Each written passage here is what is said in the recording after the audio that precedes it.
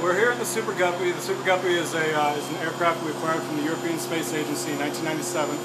Uh, it was built in 1981. Uh, since its time here, it's flown everything from uh, transition retirement from the shuttle to shuttle parts, components, space station parts using a special fixture adapted to the Super Guppy.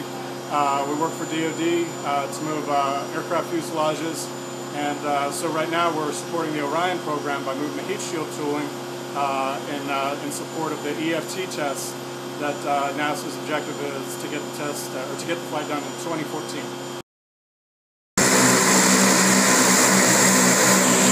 This plane is a hodgepodge of a lot of different planes. Uh, it has a KC-97 cockpit, uh, uh, Boeing 377 wing structure, P-3 engine, C-130 propellers.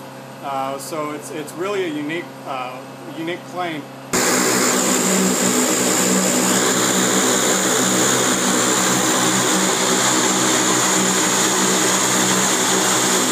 Right, because it would open from the back, you know, we would our limit our capabilities would be limited by our opening. So this is what the Super Guppy program is: is we open from the front to get the maximum amount of clearance. Our cargo bay is 25 feet by 25 feet. We have about 39,000 cubic feet of usable space. This is the only one flying in the world. Uh, there have been other Super Guppies. They're in museums, uh, but this is the only one currently. It has a uh, descendant, if you will, the uh, beluga that's used by uh, by the French uh, in Europe, Airbus. Uh, but this is the only one of its kind flying.